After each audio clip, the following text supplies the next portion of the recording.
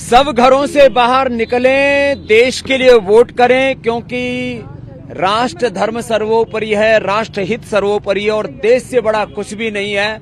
हम वोट करेंगे तो लोकतंत्र बचेगा, हम वोट करेंगे तो देश बचेगा, हम वोट करेंगे तो हमें अपने अधिकार भी मिलेंगे।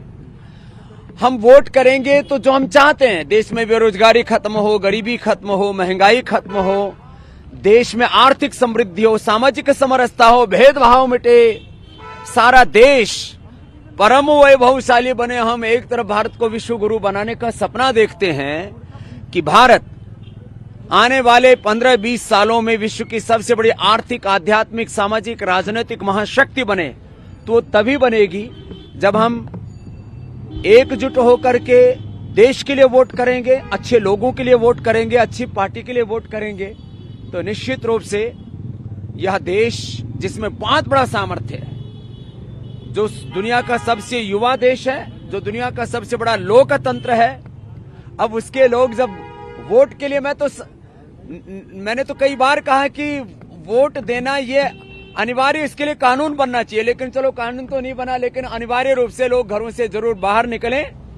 मैं रात को तीन बजे पहुँचा था, क्योंकि बाहर था सुबह योग करवा के आया पाँच बजे से और बिना नाश्ता किए वोट करने निकला हूँ। तो मोदी जी ने कहा था पहले मतदान बाद में जलपान तो जलपान तो देखी जाएगी। वोट ज़रूर करना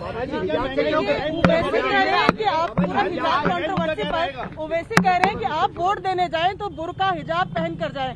ऐसे में आप क्या कहेंगे? देखिए देश बहुत आगे निकल चुका है। ओवैसी साहब जो है ना अठारहवीं शताब्दी की बात कर रहे हैं। कोई हिजाब पहने या ना पहने, कोई टोपी पहने या ना पहने, कोई चोटी जनेऊ पहने तो बहुत अच्छी बात है, पहने या ना पहने, दाढ़ी मूछ रखे या दाढ़ी मूछ कटवा ले, लेकिन देश को ना कटने दे, देश को ना बिकने दे। देश आगे है ना, ये छोटी छोटी बातें हैं। हिजाब कभी भी इलेक्शन का मुद्दा नहीं हो सकता। और तमाम तरह के सांप्रदायिक मुद्दे हैं, धार्मिक मुद्दे हैं, लेकिन देश सबसे बड़ा है, इसलिए देश के लिए वोट करें बाकी भाई, सभी आगे बढ़े। हिंदू, मुसलमान, सिख, ईसाई, जैन, बौद्ध, ब्राह्मण, क्षत्रिय, वैश्य, शूद्र, दलित, आदिवासी, वनवासी, सारा देश तभी आगे बढ़ेगा ना?